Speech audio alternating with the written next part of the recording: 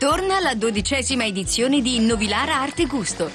Dalla cultura alla tavola, il 5, 6, 7 luglio nel castello di Novilara, tre serate con sapori e degustazioni di piatti tipici, arte e letteratura, concerti ed ospiti d'eccezione come Leonardo Manera, Ippolita Baldini, Andrea Paris.